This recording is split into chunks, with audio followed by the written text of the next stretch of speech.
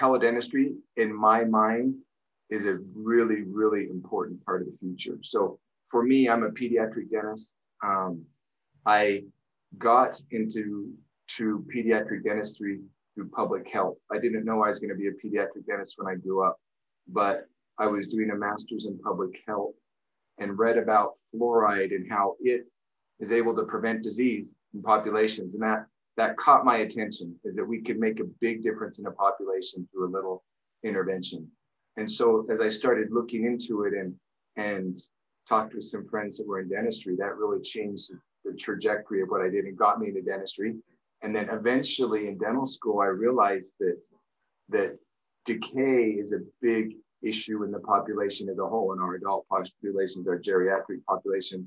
And I had too many patients come in their in their 20s and their 30s and say, I, I don't like the dentist. Decay is bad, teeth are bad. Just get them out and let's let's be done with them. And I thought that's a sad that's a sad thing. Teeth are such an important part of life. So that's when I said, when can we really intervene to stop decay, to create positive experiences for people so that they don't grow up to be adults that don't like the dentist, that don't want their teeth, that don't that don't value oral health. And and that really honestly is the point of my life when I looked at and said pediatric dentistry is a place where we set up the future for each individual that we work with. And so I've been I've been at that for for 20 plus years and and really my goal is to create positive preventive dental experiences for children and their families so that as they grow up, they can continue to have positive preventive dental experiences throughout life. So, so that's kind of my focus.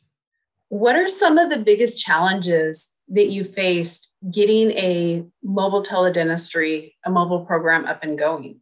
I think more than anything, giving people vision. You know, I mean, people ask, there's there's this component you say, well, we're going to do teledentistry, and they're like, you're a dentist. How can you do that? I mean, they just kind of laugh and, you know, it's like, how does that work? You know, but I think having a vision of what teledentistry allows us to do, it doesn't allow me to put a drill remotely into someone's mouth, but it allows me as, as a dental team to extend ourselves into the community, like you say, to these vulnerable populations in a place where they're comfortable. I think many times people don't come to the dentist for whatever plethora of reasons. It may be fear, it may be finances, it may be just they don't have time and through teledentistry we can we can reach out to them and so one of the barriers to that is just helping people have the vision and sometimes you just have to get out and do it and show them. But as you explain and as you see and they do that those barriers come down